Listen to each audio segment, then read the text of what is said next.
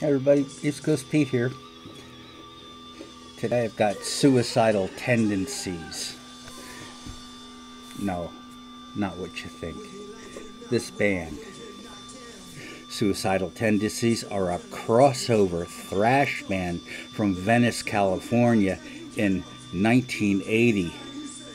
Mike Muir is the only original member left, with DRI, Corrosion of Conformity, Stormtroopers of Death, Suicidal Tendencies are seen as fathers of crossover thrash. You probably know that when I say crossover, I'm talking about hardcore. Crossover thrash, on the other hand, is thrash in fusion with hardcore punk. Metalcore and grindcore are similar, but not the same. And that, again, is not the same as thrashcore, which is much faster than crossover thrash.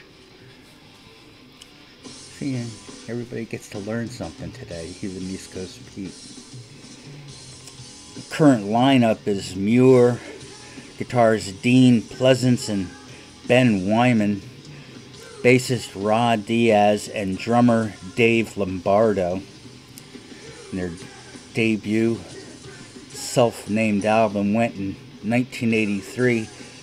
And the single Institutionalized was one of the first hardcore punk videos on MTV. After follow up, joined the Army in 1987, they signed with Epic Records.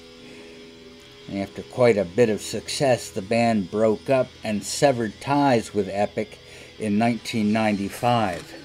And then they reformed a year later, and they are still viable today. That's 40 years. Wow. The band's beginning was marred with an association with gangs, namely Venice 13, a criminal organization of young Mexican Americans and immigrants. It all began with the teens performing as a party band in and around Santa Monica.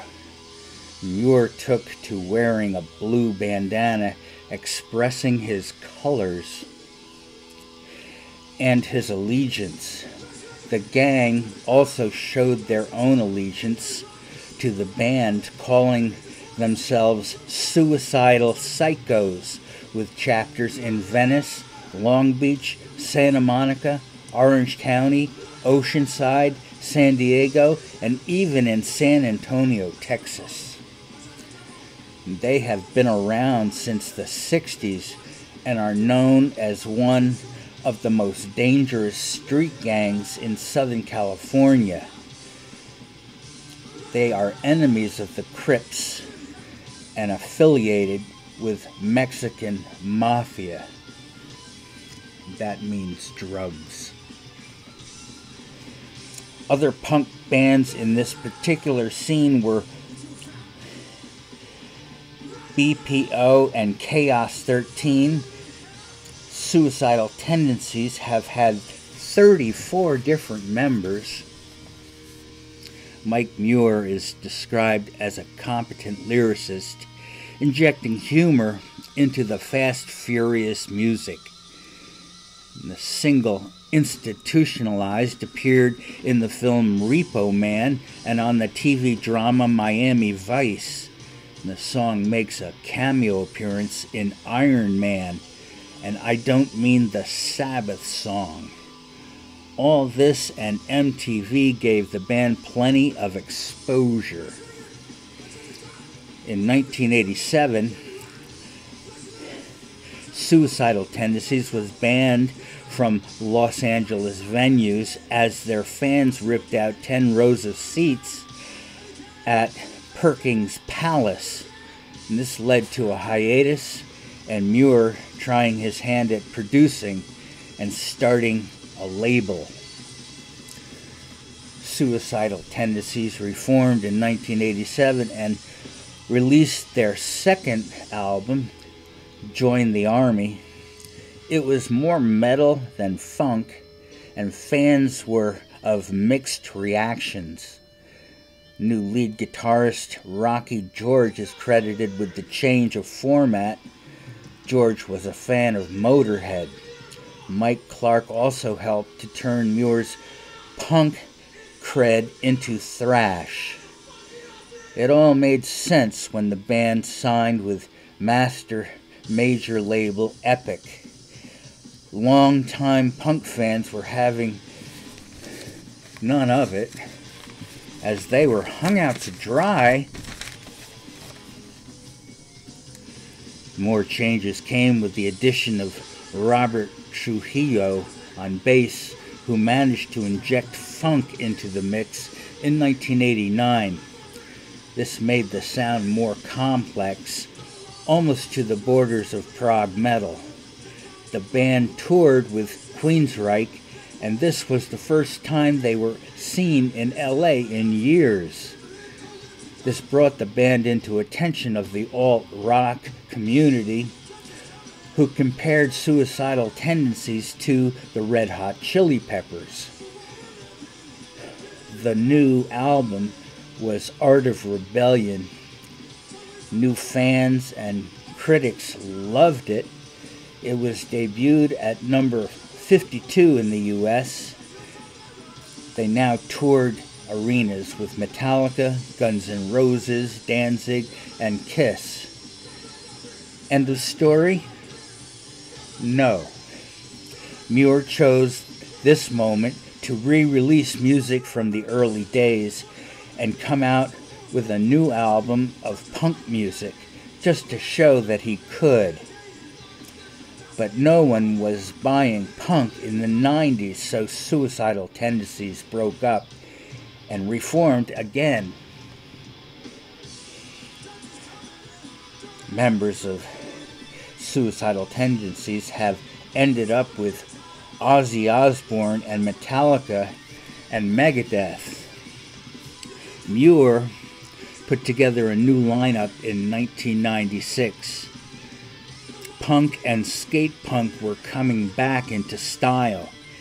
The metal fans were not amused, but the long suffering punk fans were delighted. Freedom was the new album in 1999. Critics said Muir had dumbed himself down, both lyrically and musically, so the follow up had music from four different genres, titled Free Your Soul and Save My Mind. There was now something for everyone. There was even a single titled Pop Song. And now it was time for hiatus number three in 2004. Game over? No.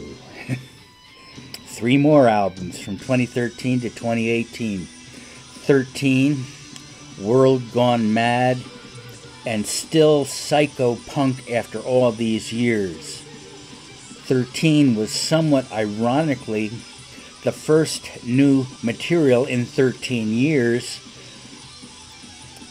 World Gone Mad was intended to be the last studio album, but still, Psycho and another release in 2020 shows that suicidal tendencies never really had any. The new album is supposed to be old school, no surprise there are way too many influences to mention.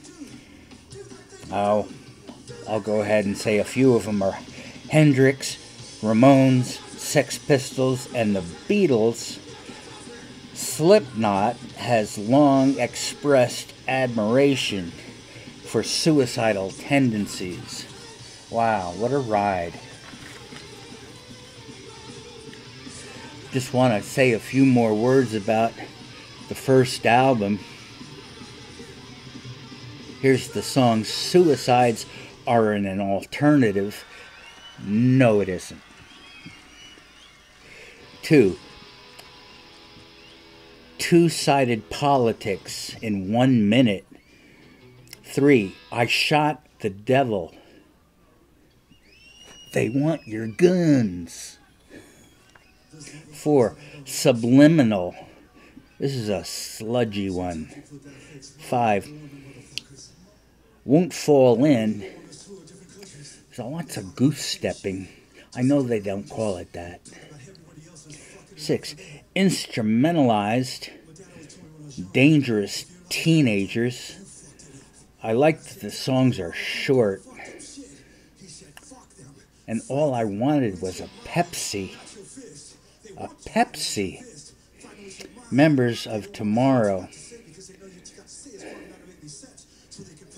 That's bass backwards.